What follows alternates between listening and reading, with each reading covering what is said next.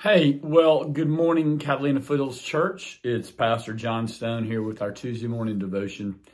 and as we work through Romans this spring and into the summer, we come to Romans chapter 8. Uh, and in Romans chapter 8, Paul shifts from thinking about what it means to be justified to how the Spirit works alongside of that, how the Spirit, having justified us, uh, keeps us righteous. And, and here he turns from uh, a longer discussion about what it means that we've trusted in Christ to now what it means that we're filled with the Spirit. and we'll obviously have more time to look at this on Sunday and explore it. So hope you can be with us or you can watch this online. Therefore, there is now no condemnation for those who are in Christ Jesus. Because through Christ Jesus, the law of the Spirit who gives life has set us free, has set you free from the law of sin and death. For what the law was powerless to do because it was weakened by the flesh, God did by sending his own son in the likeness of sinful flesh to be a sin offering. And so God condemned sin in the flesh in order that the righteous requirements of the law might be fully met in us who do not live according to the flesh, but live according to the Spirit. And there's certainly more here. a couple things kind of jump uh, to the forefront as you read this and hear it.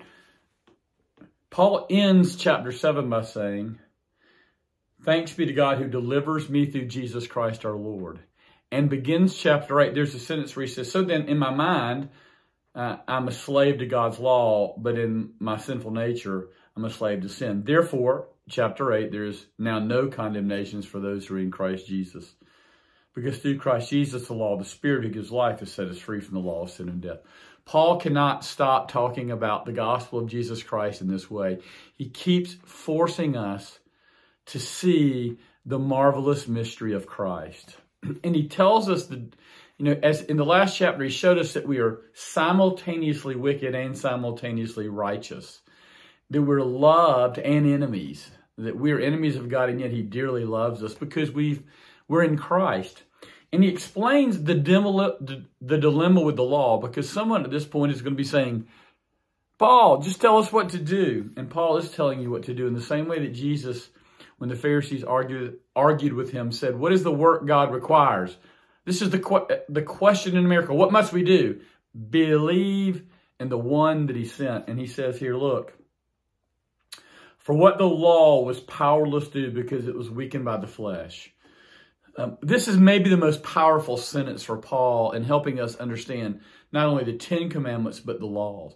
Because Paul says that this law is beautiful, that it's perfect. In fact, he admits that because we're in Christ in chapter 7, we delight in God's law, and we see in God's law what a perfect world would look like. No unfaithfulness, no stealing, no lying, no shame, no sin, no anger, perfect life. It's there in the law. But the law, in all its beauty, was unable to help us. Why? Because our flesh, he says.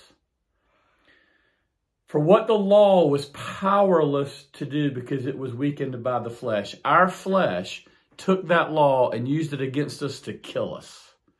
Instead of causing us not to covet, it causes us to covet. Instead of causing us not to want to steal it, the law appearing caused us to want to steal, or said another way, to not be satisfied. The law took advantage of this sin that came in from Adam and Eve, and it brought us death. So what are we going to do about that? And we goes on and says something marvelous. The flesh was weak the law was powerless because of the flesh. We have a powerless law and flesh that is deceived and broken. God did by sending his own son in the likeness of sinful flesh to be a sin offering. And so he condemned sin in the flesh in order that the righteous requirements of the law might be fully met in us. Do you not marvel at this? The righteous requirements of the law, all of the law, not just the Ten Commandments, Everything laid out by God of what he requires is now fully met in you by faith in Jesus Christ. There is a marvelous, mysterious, amazing person hanging on the tree and God's inviting us to deeply invest in who he is. In order that the righteous requirements of the law might be fully met in us, who do not live according to the flesh, but according to the Spirit. A spirit-filled life.